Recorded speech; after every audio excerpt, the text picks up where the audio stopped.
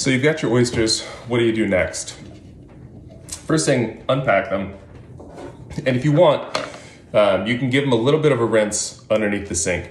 As you get a little cool running water and then brush them just with a dish, just with a dish brush. Really gently, that'll just get any of the sediment or anything that's left on the shells off. Next, um, I always put my oysters into a little mixing bowl. I put them cup down. Um, and what I mean by cup down is there's a very clear flat top shell and then the bottom shell has a nice, uh, a defined cup there. Put them cup down, one on top of each other into a mixing bowl. Then I'm just gonna put a hand towel or a dishcloth that's on top of them. Oysters are happiest whenever they're left left alone in a cool, dark place. So I just put this into the corner of the refrigerator, leave them alone, and they'll be good for weeks.